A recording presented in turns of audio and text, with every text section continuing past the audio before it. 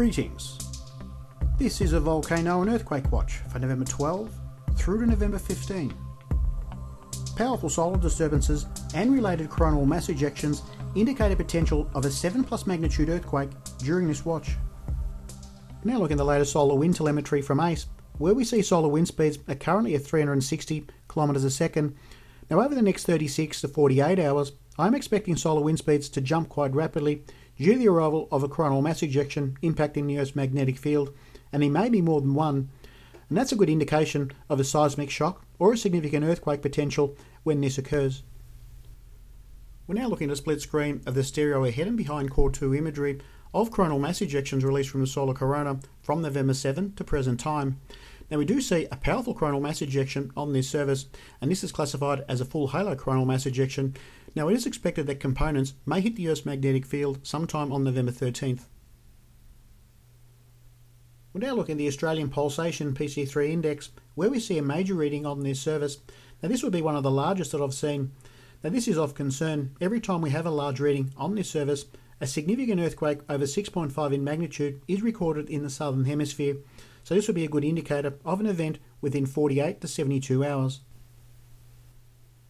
We're now looking at the SDO composite and focusing on the southern hemisphere as I do feel that there may be a significant earthquake potential based on the magnetic filament eruption that occurred pretty much in an earth facing position. Now this is a powerful eruption and it has left quite a bit of a scar on the solar corona and we're using the Still 193 angstrom and also the 171 angstrom, we do see a fairly significant feature on the solar corona. Now I do feel there are two regions that may produce earthquakes around 9 degrees south latitude and also 30 degrees south latitude.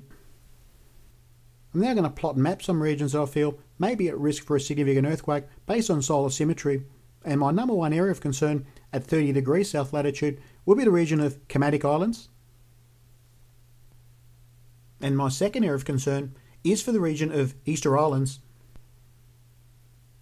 And my final area of concern for the southern hemisphere at around 30 degrees south latitude will be the regions of Santiago del Estero, Argentina, San Juan, Argentina, and also Coquimbo in Chile.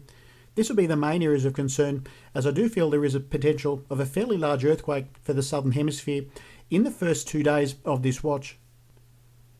And there is one more feature on the solar corona that I have mentioned at around 9 degrees south latitude that may produce an event possibly 6.1 to 6.4 in magnitude. I have settled on two regions that I feel have the most solar symmetry, and that's the Solomon Islands region, and also stretching towards the region of Santa Cruz Islands.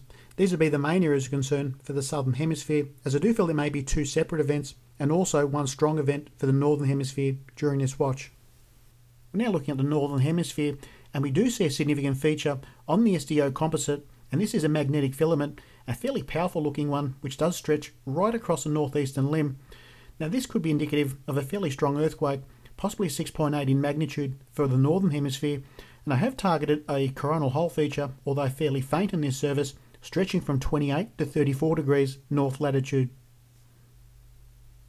I'm now going to target some regions I feel may be at risk for a significant earthquake for the Northern Hemisphere, and my prime area of concern is the region south of Japan, or more specifically the regions of Izu Islands and Bonin Islands regions, stretching over towards the Ryukyu Islands and Kyushu, Japan.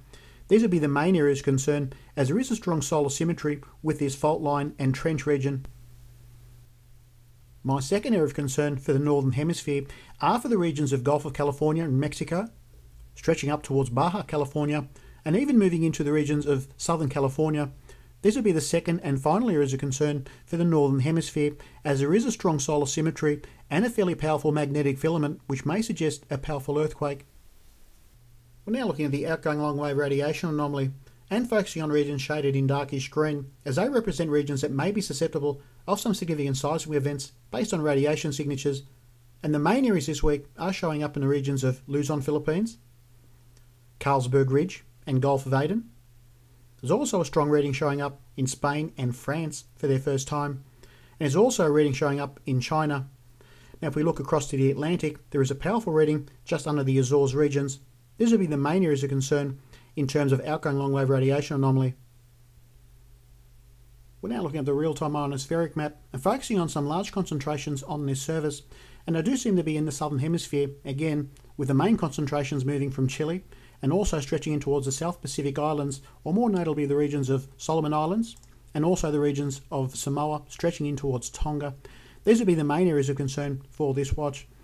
Now, it is important to note that this service has been extremely accurate, with the North Taiwan region having a heavy concentration last week, and we did have a very powerful earthquake in that region. And that's my volcano and earthquake watch for the 10th of November 2011.